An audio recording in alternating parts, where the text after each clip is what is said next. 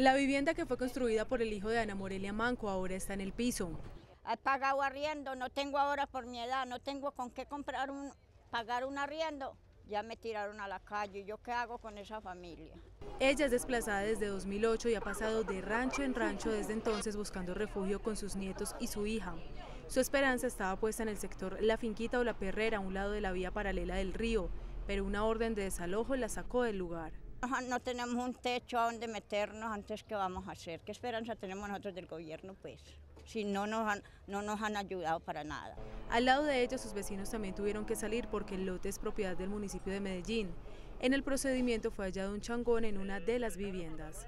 Aquí es un predio público, por tanto no se pueden hacer construcciones, es un bien del municipio que ya se les había dicho a ellos, no podían hacerlo ellos alegan de que unas personas que desconocemos y les invitamos a que denunciaran, les vendieron loteando algunas franjas de terreno y que por eso lo hacían. Por lo pronto se adelanta el censo de los afectados y se espera la denuncia de quienes hayan sido estafados con la compra de predios.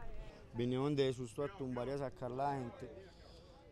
Ellos dicen que esto es ilegal, pero uno para comprar algo legal necesita 40 millones de pesos para comprar una casa ¿cierto? Y no los tiene, uno como por le toca ya decir. En este momento no tenemos para dónde irnos, entonces no, pues en el momento estamos ahí en veremos, ya nos tomado unos datos ahí que supuestamente a ver qué solución nos dan, pero no, no han dicho nada tampoco.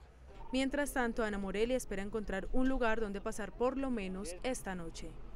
Pues no sé para dónde ir a coger debajo de un puente, será méteme debajo de un puente con esa familia, porque no tengo más para dónde.